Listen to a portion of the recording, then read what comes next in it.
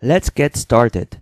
Open a browser and type ibm.com slash db2 slash express and press enter. This will take you to the home page of DB2 Express C. This is the way this page looks like at the time this video was created.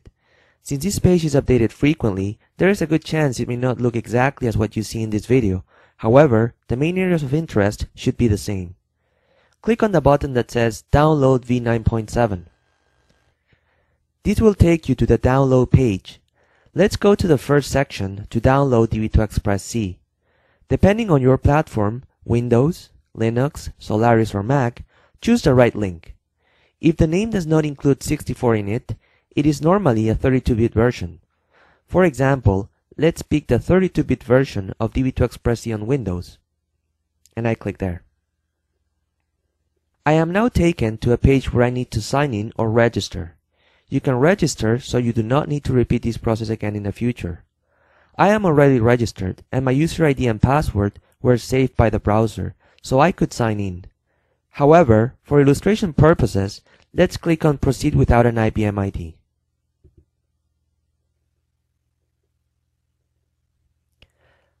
On this page, let's input the required information such as the first name, last name, email address, company, and country.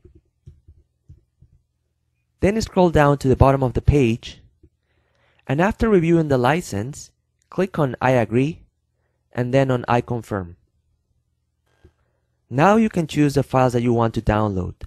Know that you can download using Download Director or HTTP. The recommendation is to use Download Director for performance, and it also lets you pause and resume your downloads. Let's now pick the files that you want to download.